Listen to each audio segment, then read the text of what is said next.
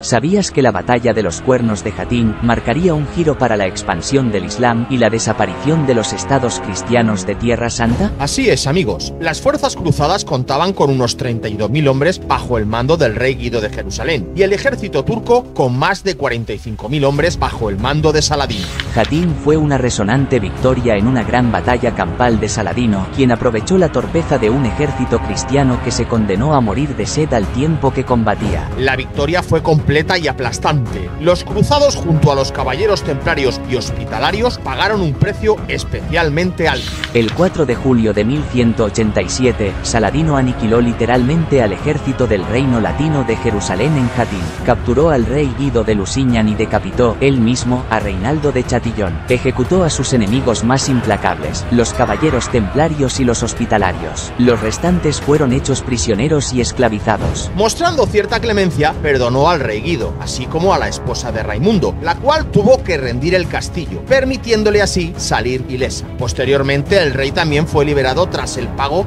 de lo que fue literalmente un rescate regio. Sin duda, una batalla sangrienta y difícil de olvidar para la cristiandad. Y para terminar os dejamos una frase célebre atribuida a Napoleón Bonaparte, que sin ninguna duda estamos seguros que Saladino aplicó en esta batalla. Nunca interrumpas al enemigo cuando está cometiendo un error.